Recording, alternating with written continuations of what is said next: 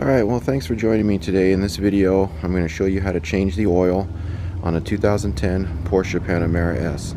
I started off by getting it up on the ramps and the front of the car doesn't have very much clearance so to help it up on the ramps without scraping I just put a little piece of plywood on each side which gave it the clearance to get up.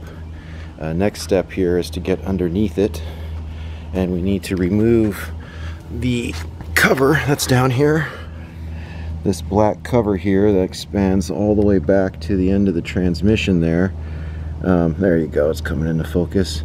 We got uh, these uh, Torx fasteners. I believe they're a T25 and it looks like there's 19 of them all the way down. And we're gonna go ahead and remove the whole cover I've done the oil change before where I've only dropped half of the cover down and it's enough to give you access to everything you need to do the oil change. But this time I want to um, wash or clean the bottom of the engine so I'm going to go ahead and remove the whole cover. So I'll go ahead and uh, do that first and then uh, show you the rest of the process.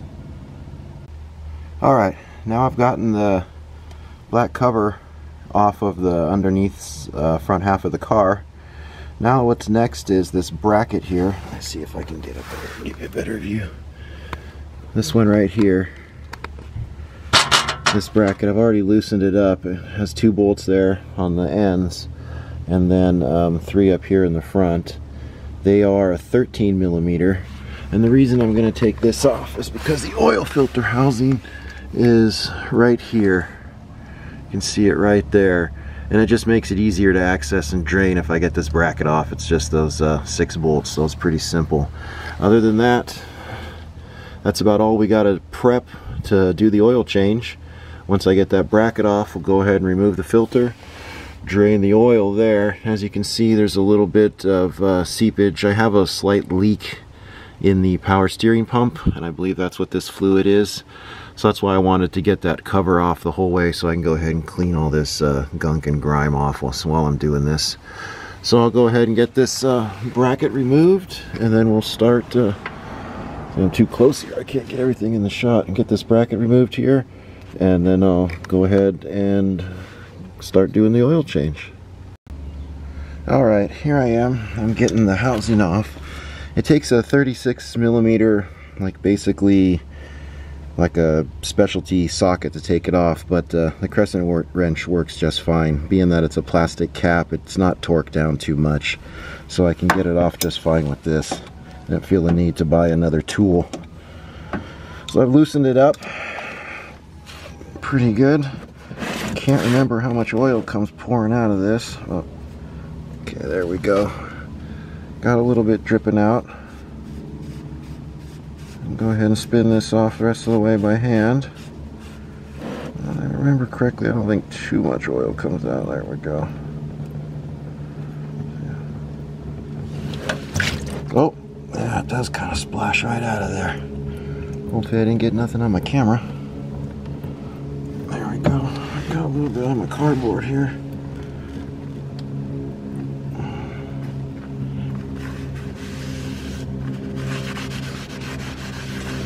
So we got that draining. I don't know if you can see, I guess you can see the filter there a little bit. It's an element style filter.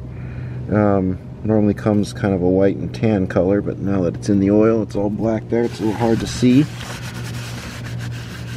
Okay. So let's see if we can turn this and get the drain plug at the same time. You can see the drain plug is back here. So we can get that loosened up and then we can let everything drip. Get all that old oil out. Okay, let's set this off to the side. My ratchet for the drain plug is over there. Reposition myself. Got a little bit of oil there on the camera. Okay. Let's see if I can get this to reach now this is a, uh, let's see, what is this, 8 millimeter? Yeah, 8 millimeter hex head to get the drain plug off. Oops, so I have it, oh, there we go.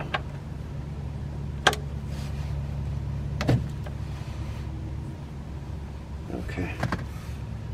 Let's make sure we got enough tub here to catch all this. This car holds roughly 9 to 10 quarts of oil, so there's quite a bit here when you change it.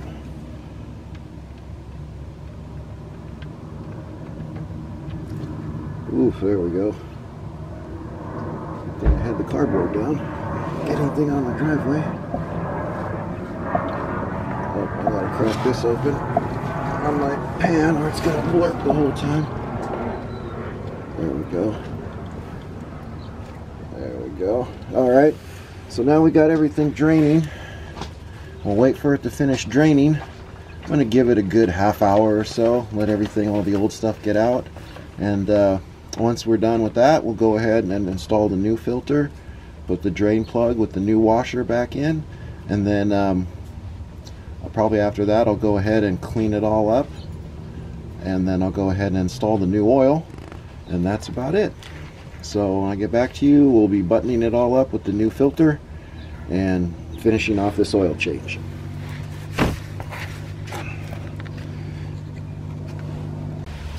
All right, now we let all the old oil drain out and I went ahead and got the new element uh, filter pressed into place. Now one word on that is, you know, it's this, uh, you see this opening here, it's the same on the other side and it slides over a little uh, metal sleeve that comes out. And it does take a little bit of force to kind of, uh, to get it to seat on there properly. Uh, one thing I recommend is, you know, don't press it too hard. I imagine you could uh, rip and damage uh, this paper that's on the end, this I don't know what if it's paper or some type of uh, reinforced plastic or whatnot, but uh, I basically take it, uh, line it up straight, press it on firm and kind of wiggle it as I'm pressing and kind of walk it on and I can feel it sliding and once it's you know seated all the way you can tell it won't go anymore. So we've got that. Got the new uh, O-ring in place here on the cap which comes with the filter and like I said, this is a plastic cap. I believe they recommend torquing it to, uh, says like 25 newton meters here on the cap itself. Uh, but uh, being plastic, and then once it seats, it's pretty much in there. So you can kind of, you can tell when you got it on. There we go.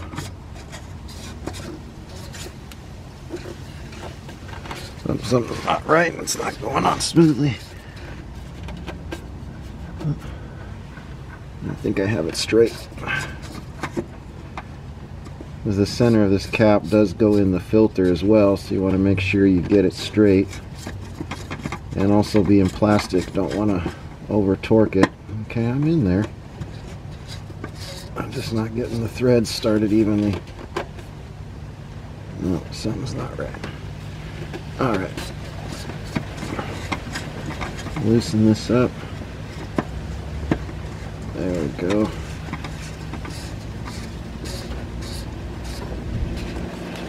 That's not going right. Let me uh, see what's going on here.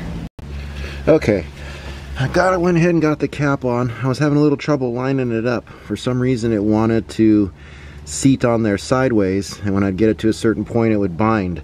I just had to kind of press, I guess what I was doing was working against uh, inside of the cap. There's another um, round uh, kind of sleeve that's on a little bit of a spring that goes inside of the filter. And I guess what was happening is I didn't have that seated in straight so it was causing the whole cap to kind of twist a little bit sideways here and wasn't uh, screwing in properly. So I got it lined up. I got a little bit deeper underneath the car which would have blocked the camera view so that's why I went ahead and turned the camera off. Uh, and took a look at this directly from underneath and saw that it was kind of sitting a little sideways here. So I pressed it in and you heard it, you know, I felt it go, you know, kind of slide right into the end of the filter and then the cap started going on just fine. And like I said, I used this uh, crescent wrench here to tighten it down. Uh, basically, you know, it tightens until this plastic lip right here hits the aluminum housing. And then after that, you really don't have too much more you can turn it before it's tight. So I go ahead and do it until it just kind of seats and it, you know, after that, after it's seated, to get it to turn more, it's going to take a ton of force. And that's where I stop, when I realize it's going to take a lot of force. And I haven't had any problems. I did oil change once before, and I didn't have any leaks or anything from that. So everything's seated up there. And we got the drain plug here. Um, got a new O-ring on it. Um, Porsche recommends that you change the drain plug every time you do an oil change. Um, I haven't done that. I don't see a reason for it. You know, the threads don't get damaged. Yes, it is an aluminum drain plug. You get a little bit of, you know, marring here from the Allen head, but that's about it. Um, when I did the oil change the first time, I went ahead and ordered a couple new drain plugs, but the ones that came from Porsche, um, the threads were all chewed up and uneven and I felt like using those would have damaged the threads on the pan so I went ahead and stuck with this it seemed to be um, a lot higher quality than the drain plugs that they're selling you today. So um, I guess that's up to you. If you feel like your drain plug's damaged uh, go ahead and change it. But uh, like I said this used one that came off looked to be better shape than the brand new one from Porsche. And uh, I don't see a reason for changing it every single time. If there's somebody out there that knows the reason, please feel free to let me know. I mean, I can understand if it gets damaged or the threads are too weak, but it's not like it's torqued down to, you know, 50 foot-pounds. You only put it on for about 20. Trying to kind of clean the hole up a little bit, but like I said, I let this drain for about half an hour. Went and made a sandwich, had lunch. So I got pretty much everything out. Just want to make sure you get this bad boy seated properly. We don't want to strip out the pan and you start yourself a nightmare. Another job there. Alright, where did my ratchet go? side, of course. Okay. And like I said, this bad boy holds about nine quarts, so that drain, that pan is heavy and full. Like I said here, you don't want to overdo this. You do not want to damage this pan and have to swap it out. It's not very thick, so there's not like there's a lot of threads that are holding it. So as I'm turning it, I can feel it starting to compress the gasket, and then I feel it, you know, it's getting tight, tight, tight, and at the point where I'm going to have to torque it, and you can kind of see the pan kind of here bending. You can see it flexing as you tighten it, so that's where I stop, right there. Alright, that's basically it.